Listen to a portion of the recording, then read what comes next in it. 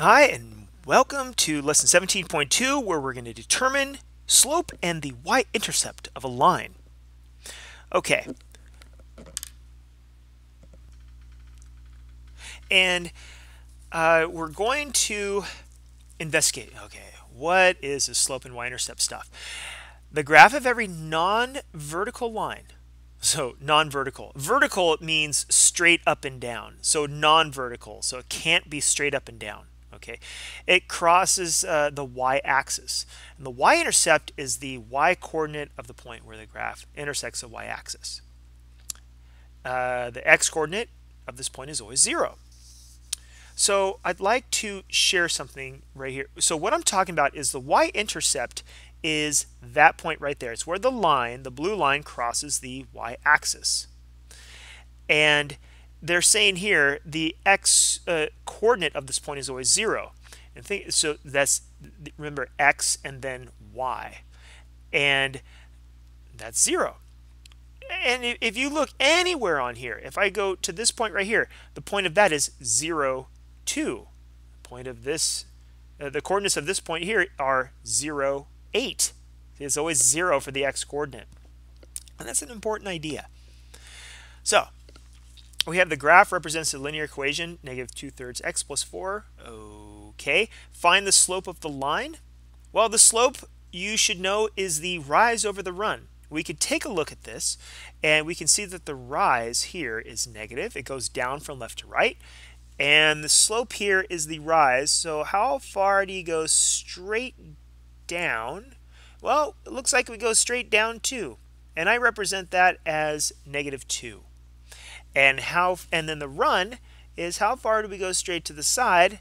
And we go to the straight to the side one two three negative two thirds see there you go negative two thirds but we can also see it as the um, what? This is uh, uh, y sub 2 minus y sub 1 over x sub 2 minus x sub 1 and see the 6 minus 4 6 minus 4 over uh, negative 3 minus 0 negative 3 minus 0. And when you do all this math, you end up with the same slope.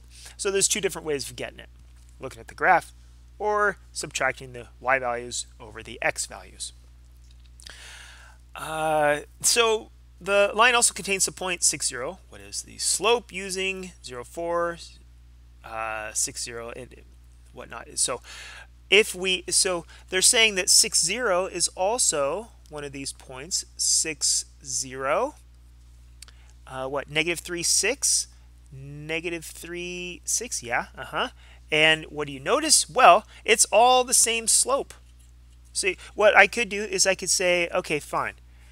Uh, let me bring this in here. So I have uh, from here to here, the slope is down 1, 2, 3, 4. So now I'm going down 4, and I'm going to the right 1, 2, 3, 4, 5, 6.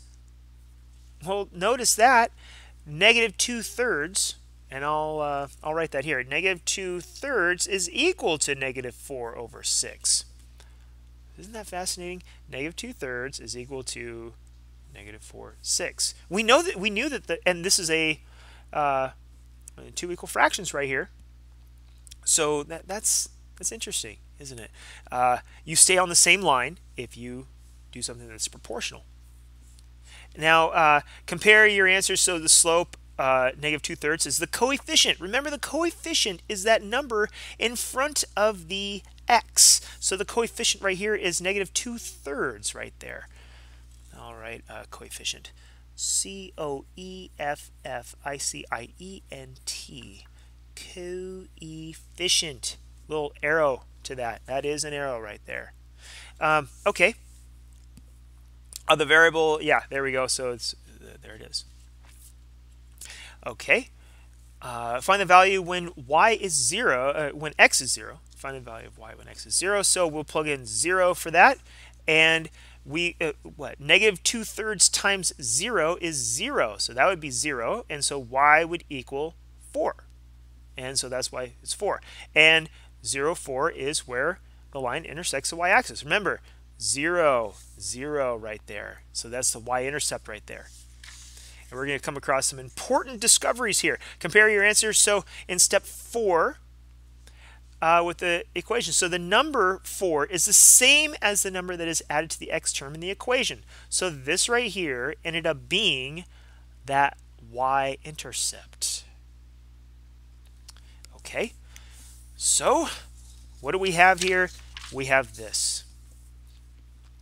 And this is our major idea. So this is called y equals mx plus b. It's super popular in all algebra classes and such, where, where this is called the slope-intercept form. So this right here, slope-intercept form. Love me some slope-intercept form, where m is the slope, it's the coefficient of x, and b is the y-intercept, which is the constant at the end of the equation. And using this, we can easily graph equations. So here, a linear relationship has a constant rate of change. You can find the rate of change, which is m, and the initial value b for a linear situation from a table of values. Let's come across a, a situation, uh, an example. A phone salesperson is paid a minimum weekly salary and a commission for each phone sold. Uh, confirm the relationship is linear and give constant rate of change and initial value. So here are the values, and this is how much she's paid. So uh, we see if we subtract the y values, subtract the y values right there, over subtract the x values, the x values, we get 15. Subtract these, so subtract these over these, and you get 15. Subtract these values over these values, which is done right here, and you still get 15. So it's a constant rate of change. The change in y over the change in x is the same. You go up 15 and over 1. Okay. 15. Done. Salesperson receives 15. So what this means is the salesperson receives $15 commission on each phone sold. So it would be something like this. Uh, 15 over 1. So $15 per phone sold. Say 15 is equal to 15 over 1. Uh, so we will find the initial value. So we're trying to work backwards now. If we have, if we turn this into a different looking table, so 10, 480, 20, 630, and so on, 10, 480, and 2630. We can see that as we go back 10, uh, 10 phones sold, we also go back 150 each time. So if we go back 10 again, that's zero phones sold. And if we go back 150, that means it's $330. That means if the salesperson sells zero phones, that person gets sold gets paid $330, which means that is the weekly salary. Right there. You sell nothing, you still get $330. But once you sell stuff, you get 150 uh, you get $15 for each phone that you sell. So, there you go. Initial value is 330. Uh, there it is, before commissions. So, we have this here and you're asked to find the slope and the y-intercept of the line represented by each table. And that's what I got going on here. So I'm going to go, I, I, have this ta these table of values um, here, and I want to show you.